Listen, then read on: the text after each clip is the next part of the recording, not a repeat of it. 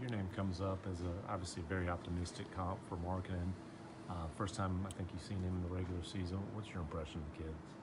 Uh, I mean, really, really good. I didn't know he was really that athletic. I mean, he shoots it easy, uh, can move his feet, play above the rim. Um, I mean, he's, he's going to be great for uh, for a long, long time. Uh, he's a great kid. He's a hard worker. Um, so it's, it's amazing all the talent that keeps flooding in from, from Europe now with uh, with Porzingis obviously coming Sunday, who's uh, who's on an amazing uh, run already, and, uh, and and and this kid has, uh, has got the same upside. You know, he's not quite as long as Porzingis, but I mean, that, that offensive game is, is already very polished, uh, and like I said, shoots it with range. Uh, seems confident out there, and um, yeah, it's going to be great for a long time.